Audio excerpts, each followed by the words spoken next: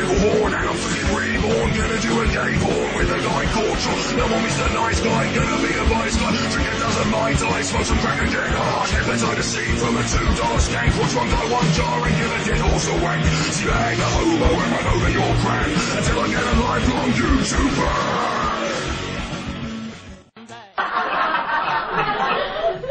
Okay. But ladies, the one thing ladies do that impresses me more than anything is you deal with the male ego.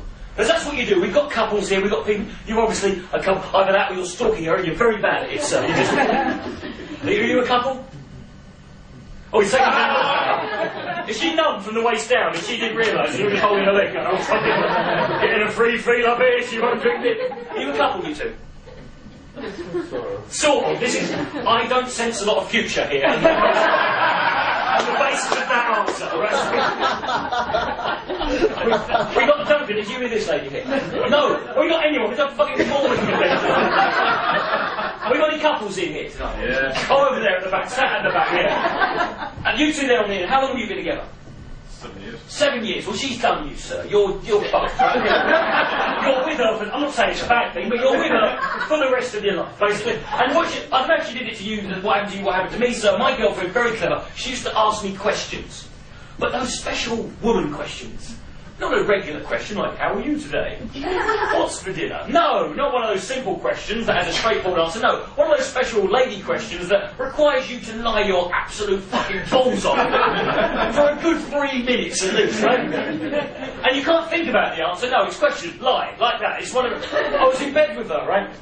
And uh, yeah, we just done it, right? And. Uh, Yeah, and um, was in bed, and she, she, about 30 seconds had gone past, so, you know, the blood hasn't fully returned to my head yet, right? Okay. And, and she says, Richard, when we're having sex, do you think of anyone else?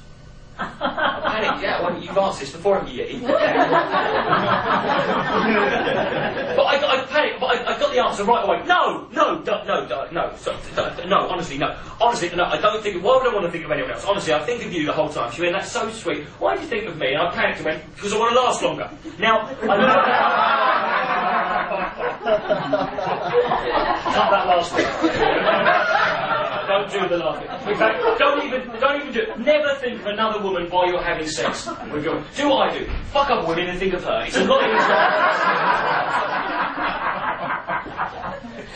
but I learned the male ego is a complex thing because the male ego is geared to making the man know, um, adapt himself to the surroundings. The female ego is different. The female ego works to making everything else around her adapt to her. That's the way it generally works. And the male ego is all about, you know, making you be the best no matter where you are. Right? And I learnt this the hard way. Uh, in 2002, for a year, I genuinely, honest to it, in Canterbury in Kent, where I I worked in a place called Bar 11, which is a gay bar, okay? Now, you, now, I, I was 22 years old, I went to drama school, so I knew gay, I, had, I, I lived in a shared house with a gay guy for several years.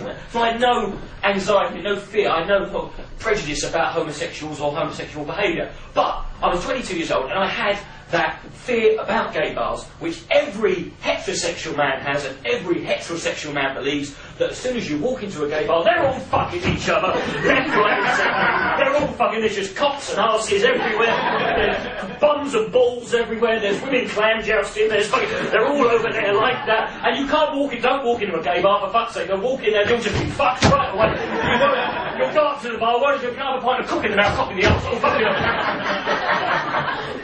Won't ever say, so don't do it, right? But I worked at this gay bar um, for a year, and I was worried because no one chatted me up. In a year, no one chatted me up. How pissed off was I at the end of that fucking day? I started going to work in suspenders and PVC top, going, come on, boys, for God's sake. I got right on me sin, place balls here, fuck all, nothing, right?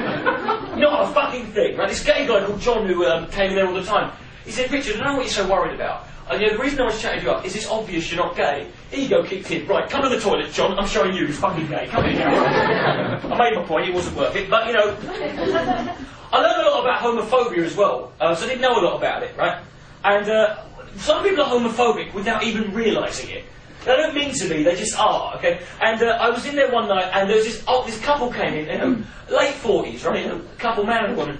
And obviously didn't know it was a gay bar, because you didn't know it's a, you don't know what gay bars are. Nowadays, gay bars aren't like they were in the 80s, when it was like a big pink neon building called the Giant Sausage Munchers Club or something. they're a bit more subtle. They just looked like regular normal bars now. This couple came in. They'd been there for an hour, and I think he'd noticed there was a lot of things his brain couldn't compute happening around him, like a lot of beard on beard action going on. Okay, that was just some of the lesbians, right? And he's and so he's, he's feeling probably felt a bit, a bit. Well, this is a bit unusual. So he went up to the bar where I was, and he said, "Excuse me, is this a gay bar?" I said, well, it's not a gay bar as such, it's a gay friendly, it's the PC term. You know, anyone can come here and drink, just like any other bar. But we do have a lot of gay clientele. They come and go as they please. And he asked me the weirdest question. He said, I'm here with my wife. Will we feel uncomfortable at any time? well, not if you use some lubricant, sir. I've got some back here. what do you think was going to happen? It's 8 o'clock, it's fisting time! Come on, everyone grab a home oh, What do you think was going to happen? And it's weird the nature of homophobia, because there's one theory about homophobia that if you're homophobic, if you're a bloke and you're homophobic, it's because you've got suppressed homosexual urges. I'm sure you might have heard this theory. If you're homophobic, it's because you've got gay desires in your body and they're shameful to you. So they manifest in a hatred of gay people. There's lots of evidence to prove that this might be the case. There's even evidence to suggest that Hitler was a homosexual. Which, you know, might sound a bit shocking, but when you think about it, you know, the leather boots all this fucking business. Kyle. Yes, sure, love. Yeah. Swastika looks like an anus. Anyone else? That, no, forget it. but you know, there's a recent case. This is brilliant. There's a recent case in America. A guy called Ted Haggard, who was uh, the leader of the American Evangelical Church, right? Big fucking church in America. He was the head of the leader of the, uh, the American Church of Evangelicals.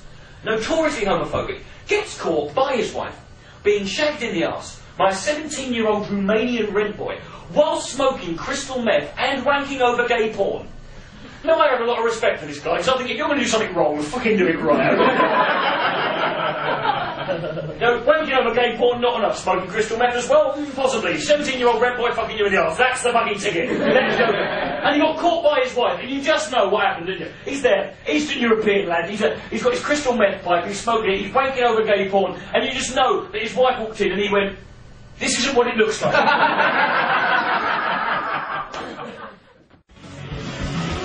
I'm Fred Fiddlehorn, your one gives me the horn, I'm gonna fuck a dawn, leave her soul torn, magic like David Blaine, I'm completely insane, pedophile, bloodstained, chicken piss and chocolate rain, don't fuck with me, cause you're gonna get shocked when you wake up and find that I'm eating your cock bone, oh no, drug you with demonia, make a video you wish I never fucking shown ya, yeah,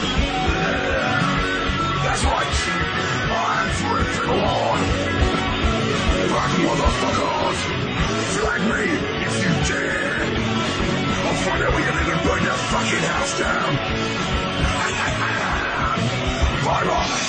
It's Fred.